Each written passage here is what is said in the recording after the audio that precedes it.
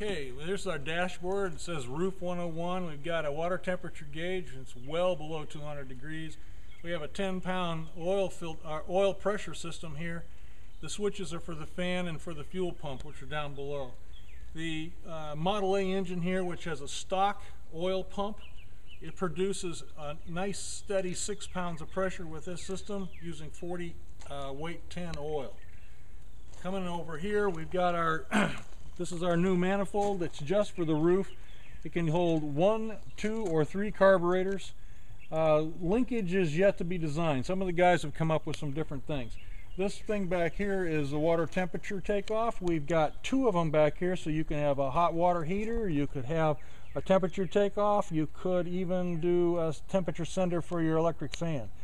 Down here we've got the side uh, water inlet and it also has a boss on it down there so that you could add a water temperature sender or hot water uh, device for a heater.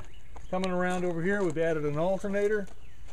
We've got uh, a 1932-33 water pump.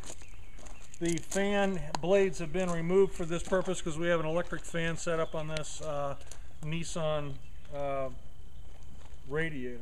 Over on this side you can see down below our custom cast iron Y headers, the split header system. We have the roof port covers on each place and right here you have the oil line which runs down and comes off of the port. One line goes up here to the oil pressure gauge and the other one of course goes to the head. Uh, the black parts are the rocker box system with the covers in, in manganese bronze. The black part is an aluminum the red part is cast iron.